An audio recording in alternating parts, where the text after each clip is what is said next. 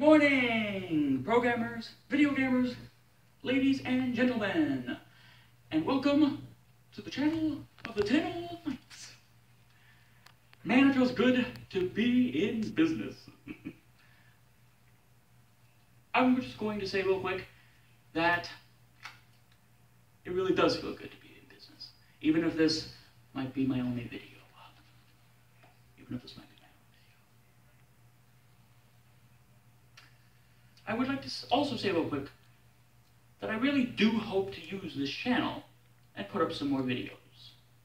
Now then, this video comes to you on YouTube because of a contract with a class from my college, which I must complete in order to keep my honor scholarship. This is very, very, very important.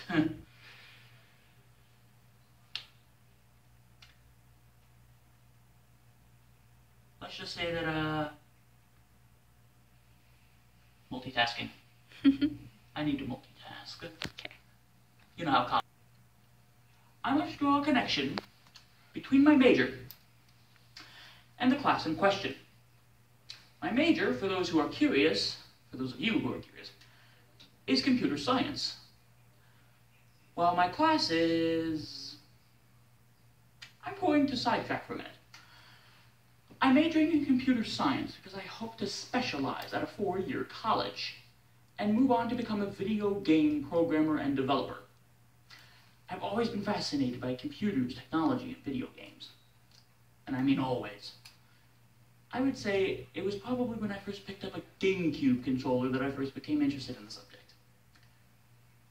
And that is also what I hope to make this channel about. The tips, tricks, stories, and hints from the old tin knight, or an old knight made of tin, or in other words, a metaphorical knight. Um, well, well, there you go. Uh, that's, but that's partly irrelevant. That's partly irrelevant. Because, at least irrelevant to the video in question that we're doing right now. Moving on to the subject at hand. My class that I must connect to my major is pre-calculus. This was harder than it sounds. Now, math is core to computer programming. Core, the bedrock. Case in point, Visual Basic. A beginner programming language used too often to teach, well, beginners. This programming language is steeped in math. All of its core basic elements are based upon mathematical elements or principles. But don't just take my word for it. Take the word of Microsoft. The people behind Visual Studio, the program used to program with Visual Basic, and Visual Basic itself, which states in its online programming guide, quote, a Visual Basic function, excuse me, a Visual Basic function is a series of Visual Basic statements enclosed by the function and end function statements. A function's purpose is to receive output, receive input, perform a task, and return output. A function A, like an algebraic function, like the one I'm looking at, which has variables whose job is to receive input, which performs a task by doing a calculation and returns an output on the other side of the equal sign.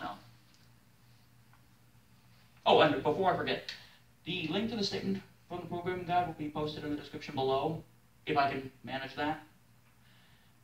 For those of you who like to check sources to ensure they are credible, which I hope for most of you these days. I hope most of you do that these days. Tech news is everywhere these days. Now, if the simulator between functions is not enough, several predefined functions exist within Visual Basic, including the three basic core trigonometric functions. Sine, cosine, and tangent, written as SIN, COS, and T-A-N, in Visual Basic. Uh, VBTutor.net has something to add to that point, right? with a section on these three functions and their use in Visual Basic. Noting uh,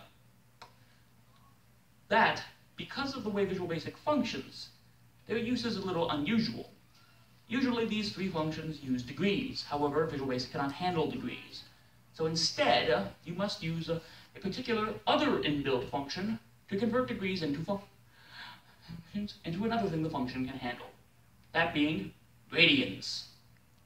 The function to do the conversion is the same as a textbook trigonometric equation, that being uh, pi radians equals 180 degrees. So, to convert to degrees, multiply the degree by pi over 180. Also, again, the link to vbtutor.net will be in the description if I can pull that off. Um, where's the pencil? Ah, forget it. Ultimately, pre-calculus and programming uh, are intricately linked. But there is something uh, more solid to connect them, albeit a bit fringe. Much of the math that programming is based around is discrete math. Now, what is discrete math? I hear some of you saying, well, I'll tell you.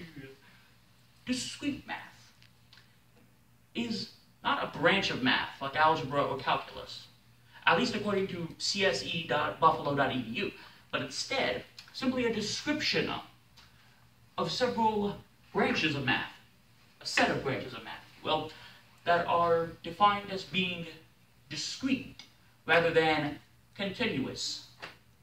These types of math deal with statements and logic, uh, integers, uh, and graphs predominantly. Statements and logic being the core of most beginner programming languages.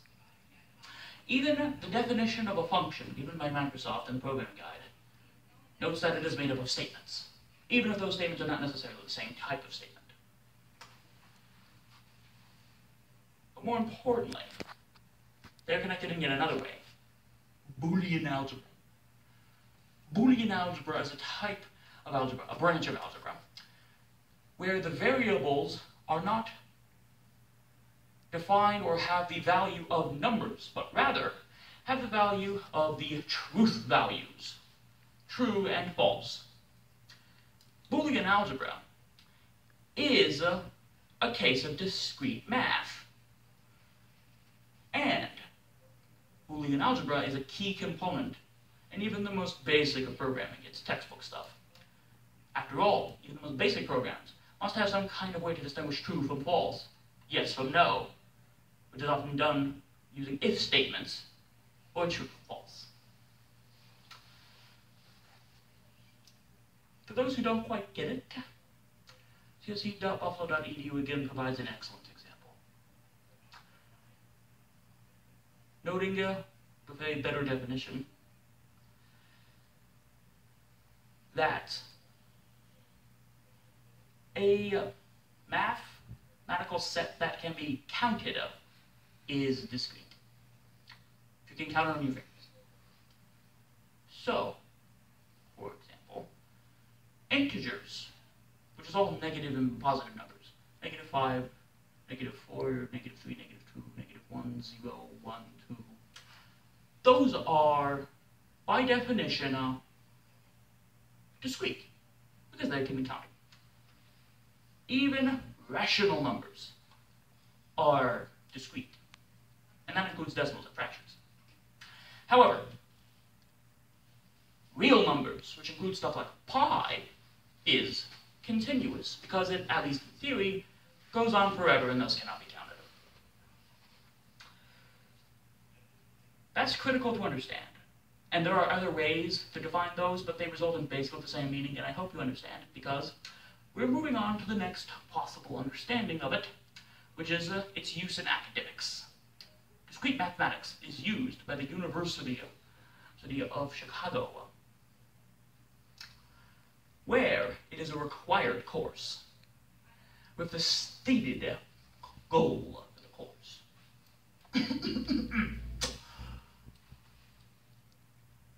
integrate into the teaching academia the necessary performance of an understanding of mathematics and discrete mathematics and to prepare in the student the necessary understanding of basic, basic mathematics needed for pre-calculus. Or, to put it in a way for those not in higher learning, uh, not to offend those who are in higher learning. I know not everybody in that is like that. To present the fundamental notions of discrete mathematics and to integrate the major ideas of mathematics needed for the future study of calculus. To integrate the ideas of mathematics needed for the future study of calculus. That's the very idea and definition of precalculus. It's in the name, for Pete's sake. Now then, I believe I have sufficiently defined why the two are integrally linked and why both necessary or at least precalculus is necessary to understanding programming, and why they're critically linked. Since I've already explained how Boolean algebra and others are linked, how discrete mathematics is linked to programming, which is the cornerstone of computer science. Now, I have a few final words. Three words for those who are programmers themselves. For those who disagree with me, and who are programmers. One, are you insane? If you of all people should understand what I'm talking about, assuming you've done any actual programming. Uh, two, that was not meant to offend anybody. that what I just said, not meant to offend anybody. Not even a little. I'm sorry to offend. If you are my senior in experience, I'm sorry to offend. If uh, you have actual mental illness, i.e. are actually insane, I'm sorry.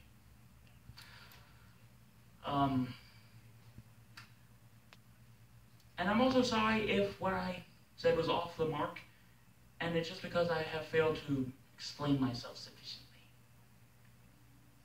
Nevertheless, three, I have a few words for those who are even less experienced in programming than I am, who want to go into this field. Never give up. I, I, I know that's cheesy, but it's true. Never give up.